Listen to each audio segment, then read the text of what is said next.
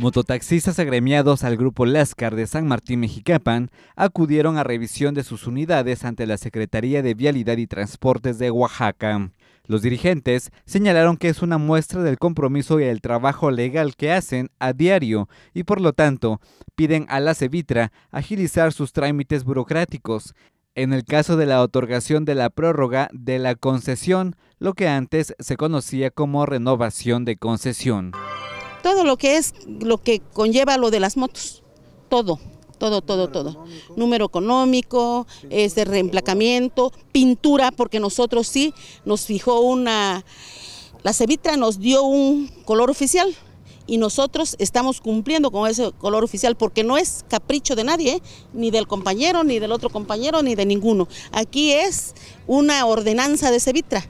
Nos están revisando todo, concesión, Muchos no tenemos concesión porque estamos aquí con un trámite que estamos haciendo, que es una burocracia terrible ahí donde están haciendo este trámite. Tenemos que tener tres días para hacerlo, pero yo creo que eso el señor secretario no lo sabe.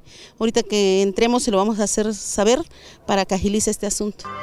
Durante este proceso se les revisó sus números económicos, las medidas exactas de las unidades, sus tarjetas de circulación, sus licencias, las pólizas de seguro y las medidas cromáticas.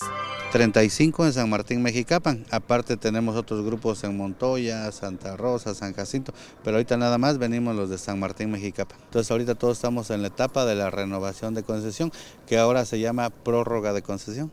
¿Han tenido alguna dificultad en esto aparte de los trámites burocráticos?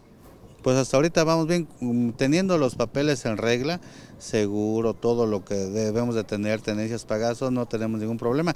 El problema es cuando lo recogemos, que es un poco tardado, se, se tardan más de lo que nos dicen allá. Con imágenes de Mónica Martínez, para MBM Televisión, Celestino Chacón.